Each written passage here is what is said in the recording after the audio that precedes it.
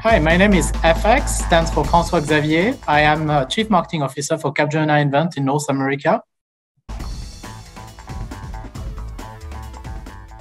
The role of the CMO is at the core of being able to combine two horizons for a company. The first horizon is the demand generation, meeting the numbers, being able to grow on the next year, being profitable. The second horizon is the long term horizon, which is what do you want to be famous for in three, five, ten years down the line? How do you want to build your brand? What do you want to be recognized for? And I think the role of the CMO is really to be able to manage those two, which sometimes are contradictory. And I think that's one of the main challenges of the CMO. How to address this? I think there are a lot of tools, but uh, I think that really takes leadership and vision, being able to challenge sometimes some of the other stakeholders in the organization and use also, of course, data and MarTech tools to be able to do so.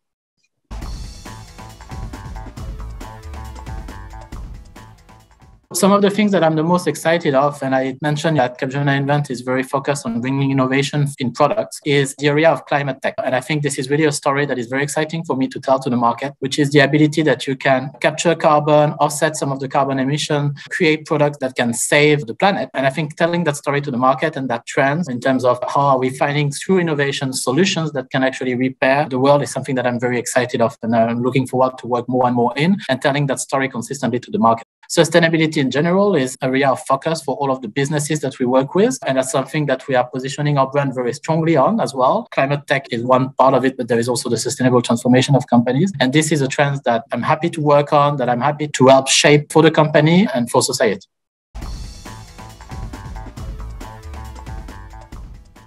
Trust because the role of the CMO is really to build the trust that customers have in the brands, the trust that your audience have in the content that you share, and to build that long-term kind of connection and relationship is all around trust. So that's for me what the CMO is guardian of in the company.